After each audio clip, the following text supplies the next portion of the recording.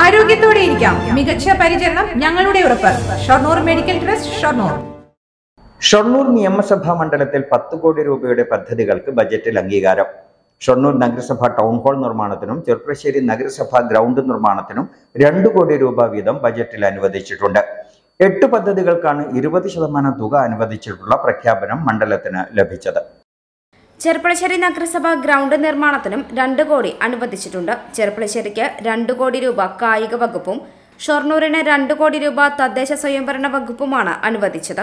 വെള്ളിനഴി മുതലമൂർക്കൻ കടവിൽ തൂക്കുപാലവും അനുബന്ധ ടൂറിസം പദ്ധതി നെല്ലായ പുലാക്കാട് പാത B M and B C നിലവാരത്തിൽ നിർമ്മിക്കുക വാണിയംകുളം നഗര നവീകരണം തൃക്കടീരി ആറ്റാശ്ശേരി പാത B M and B C നിലവാരത്തിൽ നിർമ്മിക്കുക അനങ്ങനടി ഹോമിയോ ആശുപത്രിക്ക് പുതിയ കെട്ടിടം ചളവറ ആയുർവേദ ആശുപത്രിക്ക് കിടത്തി ചികിത്സ വാർഡ് നിർമ്മാണം എന്നിവയ്ക്ക് ഒരു കോടി രൂപ വീതവും അനുവദിച്ചിട്ടുണ്ട്.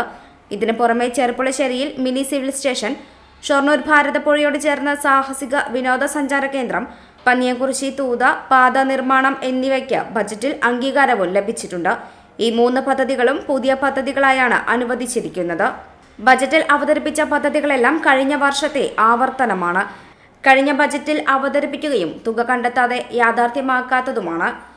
ഷൊർണൂർ ടെക്നിക്കൽ ഹൈസ്കൂളിന് കെട്ടിടം നിർമ്മിക്കുന്നതും ചെർപ്പളശ്ശേരിയിൽ സർക്കാർ കോളേജും ഉൾപ്പെടെ വർഷങ്ങളായുള്ള മണ്ഡലത്തിൽ അനുവദിച്ച പദ്ധതികളാണ്. എന്നാൽ ഇത്തവണയും ഇവയ്ക്കൊന്നും ബജറ്റിൽ തുക വകയിരുത്തിയിട്ടില്ല.